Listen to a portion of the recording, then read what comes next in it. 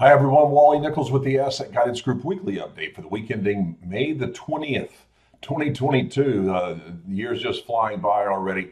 Uh, the real play uh, over this whole year really has been uh, uh, initially the first quarter uh, turned out to be, you know, it's a total return plays. as things have developed, as you can tell in Mohamed El-Erian's quote of the week down below, uh, things have uh, the market has shifted. Okay, so uh, those have even uh, you know taken a real beating now. What has played through uh, and I'll t- uh, has done very well is commodities, obviously, you know because of the inflation and everything. And so right now, energy on a one month has been the sector that has held on, excuse me, the best, but uh, you've essentially got uh, you know energy and all of these at this point on on, on rotational relative rotational graph are weakening. Okay, right now. But uh, overall, right now, you've got energy, consumer non non cyclical, uh, utilities, and then cash proxies. Uh, those are the those are the top uh, top four uh, that are that are doing that are doing well above average. Uh, that if we were in the market, if we had some kind of a trend to go with that was acceptable, that would be okay for new positions. But let me tell you about why. Let me show you why that uh, that that the commodities are such a difficult play uh, to reconcile here because of the risk involved. Okay, if you look at this, so this is the top four. I took uh, the top four out of uh, these. These just happen to be uh, energy sectors, but I took the top four performers uh, uh, in terms of um, of commodities uh, right now, and and they're ETFs that are taking the best of, of the best along there. Individually, any one of these would be more volatile and actually perform higher, but these are equal weighted, and we brought them down here uh, um, to to do a, a little bit of uh, uh, illustration about why it's so difficult to play in this. So um, if you look at this movement here, up up and down as we go, that's a tremendous amount of volatility. This blue line is the Bloomberg Commodity Index. That's just like that would be the S&P 500 equivalent of uh, commodities. And uh, as you can see, the bottom the bottom line here, this orange line, is the S&P 500. So the, it's virtually uh, non-correlated with uh, commodities, uh, and, and, especially these commodities. Uh, they just they move. As a matter of fact, if anything, they move contra. So the more to the point is that while the S&P is down almost 18% through yesterday, this doesn't have uh, today's close in it. Uh, but through through yesterday, which would have been Thursday, September, May the 19th, these commodities we're closing up at 76 and a half. And you're like, wow, I would really liked to have had a piece of that. But along the way, you have to be willing, uh, at the time that you're going through this from between March the 8th and March the 10th, you don't have the benefit of all of that, all of that movement to the right uh, at your disposal. And so, just like the equities markets, uh, you don't know when that bottom is going to hit. You just uh, it, it just keeps sliding, and that's a pretty big move from 51, uh, almost 52% down to 35%. So that's a 17% uh, move in like three, two, three days there. And, and this is the, this is the thing. So this is why it's very difficult because of this risk involved to take people's uh, uh, re- retirement money and, and invest in that. So this has to be a piece of your portfolio that is open for gamesmanship, okay, as you go.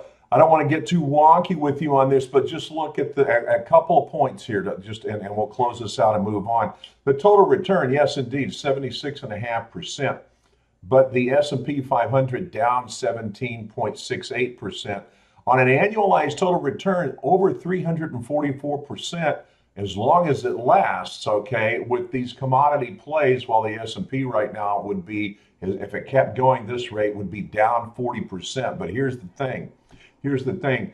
Uh, right now, your standard deviation or risk, okay, as it's as it's conventionally known for the commodities is 157% higher than that of the S&P. So if the S&P on a normal two standard deviations is 18%, the uh, these just top four commodity performers right now uh, are, are 150 times greater than that risk, that volatility, that movement. So for that reason alone, you see that uh, if the S&P just goes down, uh, if, the Bloomberg commodity goes down 1%, the S&P goes down seven, if we went down $1 or 1, 1%, the S&P goes down 0.17, 17 cents or 0.17 for every one point down that the Bloomberg commodity index goes.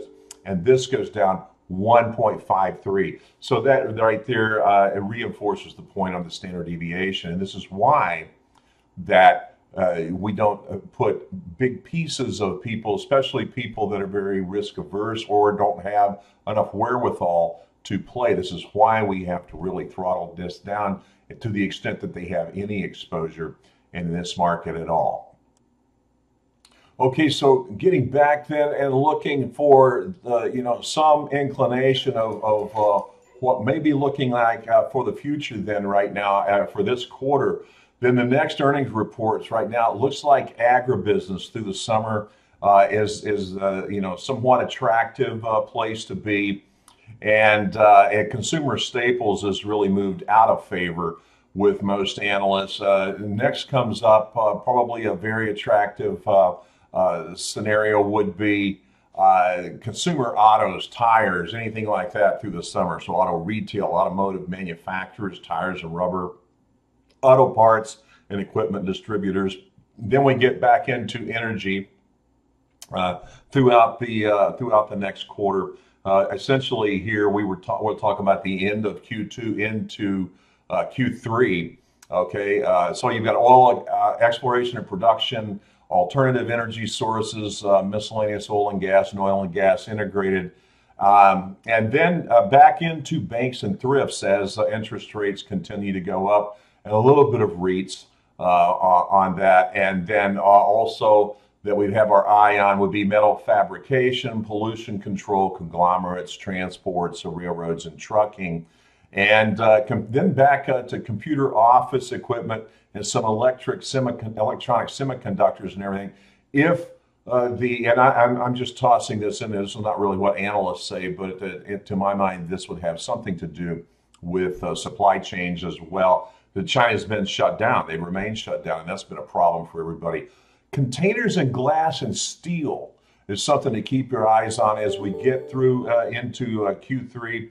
And then uh, non ferrous metals, you know, uh, gold, aluminum, those types of uh, uh, metals. And then communications, telco equipment is, is pretty much going to round out the list there. So, this is uh, why it's it's been difficult. All right, so the uh, the S and P has come down. Uh, capitulation is at hand, and now moved in this afternoon into bear territory, and uh, along with the Nasdaq, which has been there for a while, bonds have been in bear market since last October of 2021.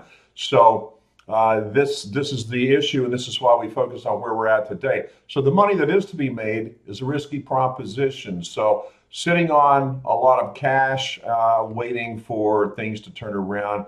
We're uh, anticipating good news uh, very soon and, and, and market uh, capitulation. Volatility, we would have liked to have seen spike along with all the other experts out there, uh, but uh, it has fallen back down before below 30.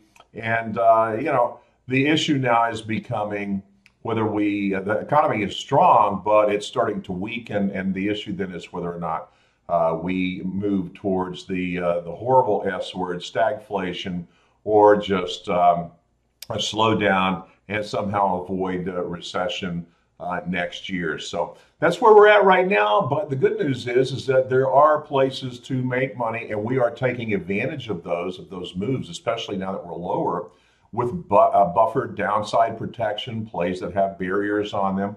Of course, uh, the safe money uh, parts of your portfolio are, are, doing increasingly better as time goes by uh, and and uh, participation rates cap rates continue to increase. So there's room to be happy about situations as they go. Uh, sure we've got a lot ahead of us uh, to overcome but uh, that's the striving in life. And there's a lot of people that have it a lot worse. So meanwhile until next week stay happy. Studies show that it's the key to longevity.